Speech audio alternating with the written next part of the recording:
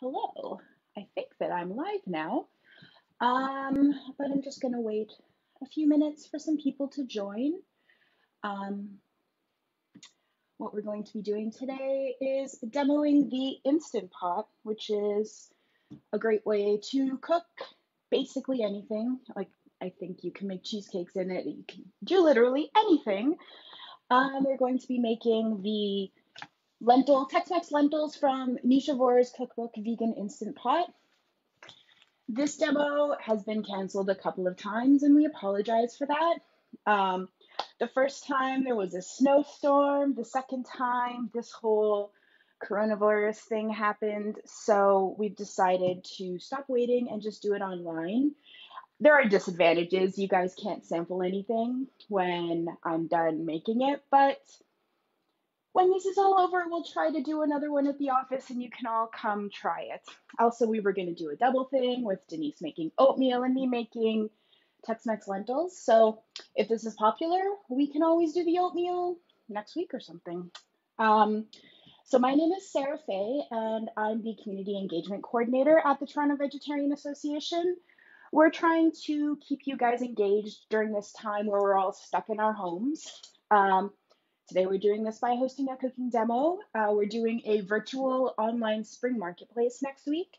We had to cancel our veg spring market because of the coronavirus. So we have rescheduled it to an online uh, marketplace. We're still going to have panels. We're still going to have vendors. It's happening next weekend. So make sure you come back. We're going to be hosting it on Facebook. It'll be here. And um, yeah, come back next weekend starting Friday and watch that. So, Tex-Mex lentils, Instant Pot. This is the Instant Pot. It makes things by pressure cooking. And a lot of people are probably afraid of pressure cookers because they have a bad reputation. Uh, before the Instant Pot, they were these pots with, I guess, hinges or something that you put on the stove, and they had a tendency to blow up and burn people. And every time I talk to my mom about the Instant Pot, she says, don't burn yourself because that's that's the association people have with pressure cookers. Uh, but the Instant Pot is a lot more safe than those old pressure cookers. It has a lock on its lid. It will not open if there's pressure. Um, you have to release the pressure like manually before you can actually open the pot.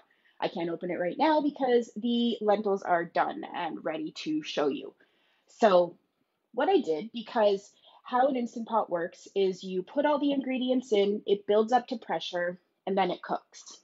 Uh, I knew that you didn't want to sit here for 40 minutes and listen to me talk while it was cooking, so past me filmed making the lentils. So I'm going to show you the video of past me making the lentils, and then we'll come back and see what they look like. So again, the recipe is from Nisha Vora's cookbook, Vegan Instant Pot. Um, it's called Tex-Mex Brown Rice and Lentils. She has a very similar recipe on her website that's available for free if you don't have the cookbook yet.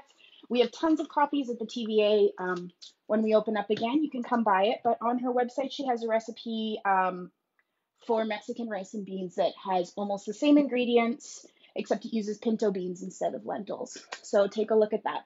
I'm going to play the video now of me making the recipe, and then I'll come back and show you what it tastes like. So, here you go. All right, so this is me an hour ago recording how all of these ingredients got into the Instant Pot.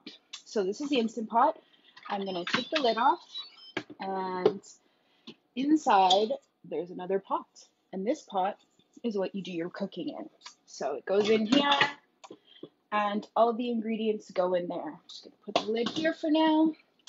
Um, the great thing about this recipe is that you don't need to do anything. You don't need to saute any of the vegetables. I mean, you could if you wanted to to give them flavor, but the recipe doesn't call for it. So basically, you just dump everything into the pot and it's ready to go. It comes together so quickly on a weeknight and it lasts you all week. So I have all the ingredients here. We've got, it calls for four cups of broth. Um, one of these is 900 milliliters, which is just over four cups of broth under, just under four cups of broth. But I'm going to use that. Math is not my strong suit. So it goes into the pot.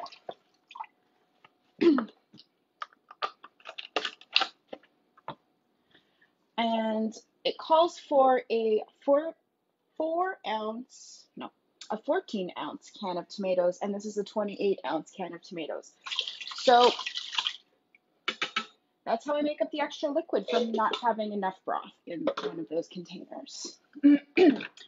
uh, peppers, that is an orange pepper. Onions, that is a whole onion, just a white one. Um, it calls for a cup and a half of rice and a cup and a half of lentils. So I've just got green lentils here. I use brown or green usually.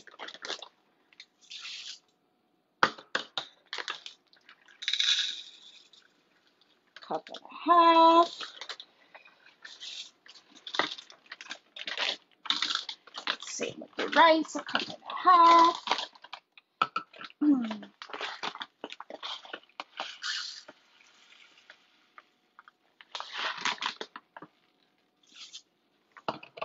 because all the liquid from the broth and the tomatoes will cook the rice and the lentils, everything just will come out sort of perfect at the end. Rice and lentils.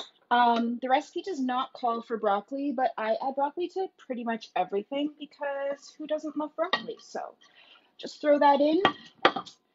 And it calls for a spice mix of chili powder, cumin, oregano, paprika, garlic powder, onion powder, cayenne powder, salt, and pepper. Um, I always overdo my spices, so I don't measure them. I just sort of dump them in because something cannot have too much spice. This is the cumin. Woo, that was a little too much cumin. We've got paprika, this is not a spicy paprika. This is a sweet paprika. We've got garlic powder.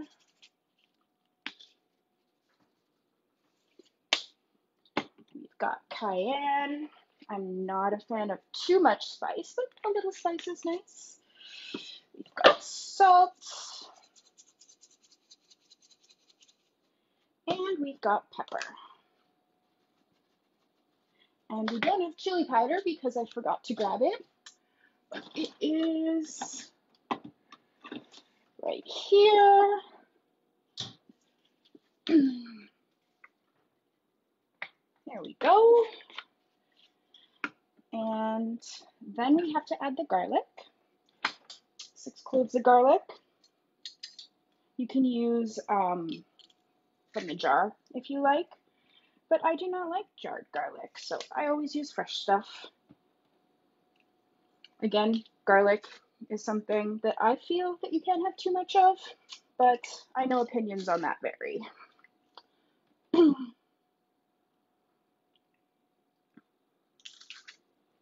All the garlic in there. And I believe that's everything. Just let me read my recipe here. Oh, it calls for cilantro, but let's be honest, I don't like cilantro, so I'm not putting it in. And lastly, I add some spinach because, like broccoli, really, what isn't better with spinach?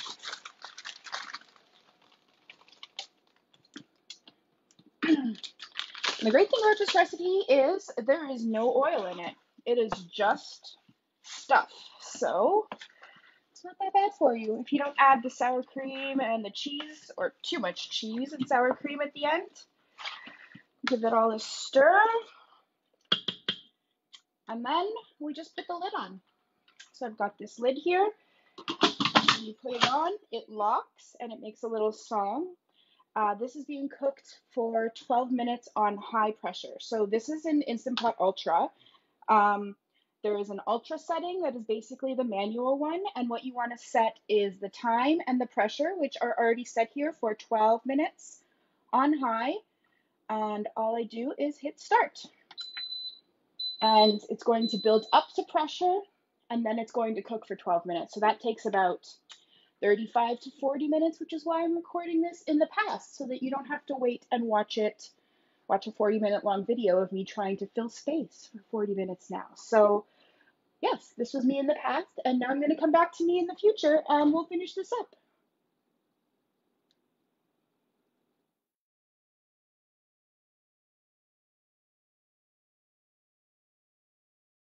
I can't believe that worked fine. Awesome. So that was me about an hour ago. Um, what happened since then is it built up to pressure, it cooked, and then it was finished.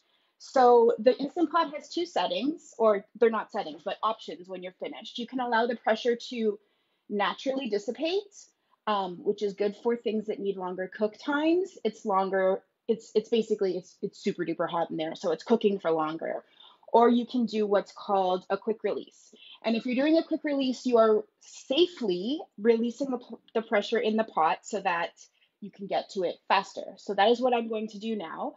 Um, it has a button at the top to release the pressure, which I'm going to press. And if I did this when it was just finished, it would steam a lot. Because it's been sitting for a little while, I don't know how much it's going to steam. Let's take a look. So yeah, it spits up some hot steam and uh, you could do this for a couple of minutes if you're doing this from a, a pot that just finished cooking. But this one has not a lot of pressure left in it, so it just makes this hissing noise as it releases the pressure, and you start to smell all of the good things that are in your pot. Uh, too bad Facebook Live doesn't have smell vision because it smells really good in here right now. So as the pressure, pressure releases, you can start to feel that the handle is unlocking because it's no longer dangerous to take the lid off. But it's still good to wait until it completely finishes steaming, which it's still hissing a little bit at me. Um, once it's finished hissing, I can release the button and I can take the lid off. And it's just a nice delicious looking casserole here. Um, the last thing to do is to add cheese and then just put it back in for a minute. So I'm going to add some cheese and then I'll show you guys what it looks like. Stir up the cheese because everything is better with cheese.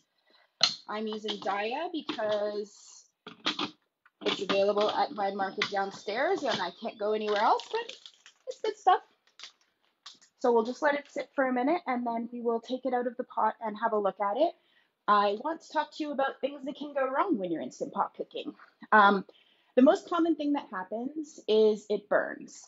And what happens when it burns is you don't have enough liquid in the pot and the pot is burning at the bottom. And when that happens, the machine can't build the pressure up and it won't go up to pressure.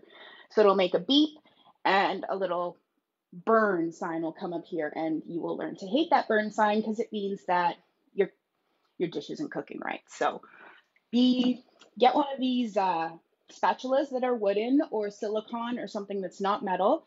And all you would do in that, oh, it's built up to pressure again. All you would do in that case is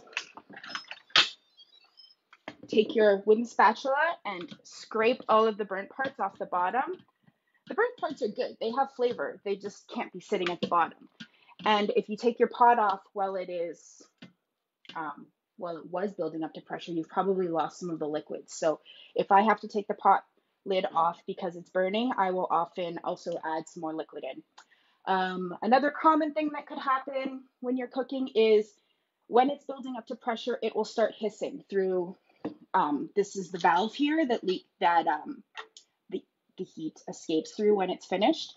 The first few times I cooked stuff, I thought that meant that I hadn't sealed it correctly. But I did seal it correctly. It just, it'll hiss a little while when you're building up to pressure, and that's perfectly normal. Don't take the lid off and check what's going wrong because I did that and there was really no reason to. So, um, let's see. I think I can do this. Here we go. Super professional this is what the casserole or the, the uh, lentils and rice look like in the pot. And I'm going to spoon some out into a bowl. when I eat it, I like to add some avocado and some sour cream because it's Tex-Mex after all, so it should have those flavors. And it looks like this. It's delicious. The best thing about things you make in the Instant Pot are that they last for days. So I have a glass lid that fits on top of this. I'll just wait for it to cool, stick the pod in my fridge, and I will eat rice and lentils for the next three nights for dinner. Um, if I was going to work, I'd bring it for lunch because it reheats well in the microwave, but I'll be at home so I can reheat it on the stove. Um, I think that's about all of the major things I wanted to cover about this recipe. Again, Nisha Vora is on Instagram at Rainbow Plant Life, and you can follow her. Her book, Instant Pot Cookbook, we've got tons of at TVA.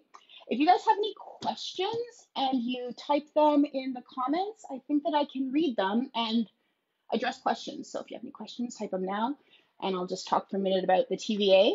So our website is veg.ca. You can go to veg.ca slash join to become a member. It's a minimum $25 donation to become a member of TVA. And with that, you get discounts at great Toronto restaurants, uh, restaurants in the whole GTA. Um, you get our quarterly newsletter, Lifelines, and most importantly, you support the TVA. In times like this, it's really important to help charities and small businesses, and we would really appreciate it. So, veg.ca slash join. You could follow us on Instagram, Toronto Veg. I'm just gonna look and see if there's any questions. Oh, people want to come over and eat. That's that's fine. Yeah. I'm not telling you where I live because it's delicious. Um, Vanessa says you can twist the valve so it's open and releases on its own right away. And yeah, I do that if it's a longer pressure release. A good thing to do is grab a tea towel and put it over top so the steam is going into the tea towel and not uh, into your face. um, let's see. Any comments on using the Instant Pot as a slow cooker? I have not actually used it as a slow cooker yet.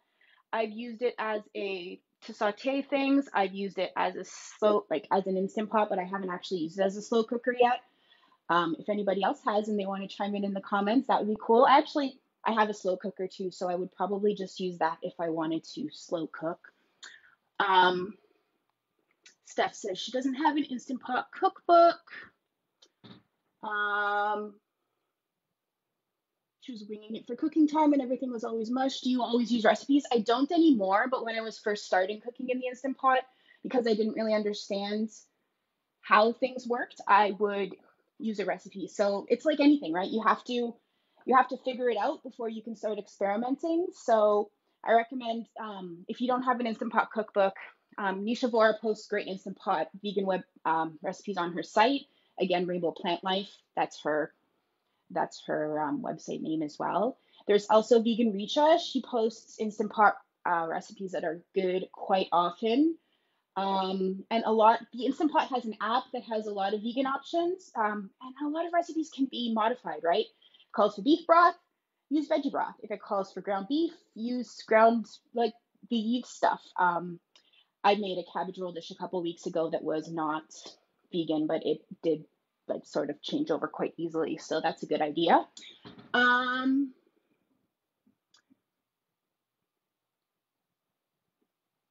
trying to go by the Instant Pot manual cooking times. Yeah.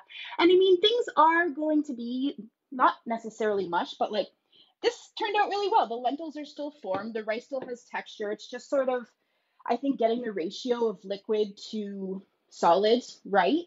Because if you have too many liquid, too much liquid, it's going to make everything mushy. And if you don't have enough liquid, you're going to get a burn warning. So it's, you know, trying to balance the two. Um,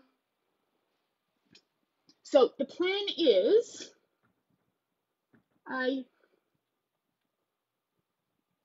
yes, Barbie asks, uh, if you see a recipe that says to use the Instant Pot, you can modify cooking time to make it in a regular pot. And most of the recipes I've found online, um, they, they give you instructions for cooking it in a regular pot. And I think that they're pretty similar. It's just that they need to be watched more and that it'll take longer because you're not getting that high pressure situation that's making it cook really fast. Um, so things like lentils and brown rice, there's no way brown rice would cook in 12 minutes, right? Or even the the 30 minutes with the um, the building up to pressure. So it's just it makes it faster and more convenient because you can set it and walk away, and then your dinner is ready when you come back. So go do a yoga video, or go check Facebook, or you know, watch an episode of The Office. That's what I did, and then it's ready. So. Uh, what are good dressings for this recipe? I I like avocado and sour cream. So I'll slice up some avocado. I will put it on this side. I'll put a dollop of the tofutti sour cream. That's my favorite. And um, maybe some extra cheese if I'm feeling really uh, special. And yeah, it's it's good on its own though too.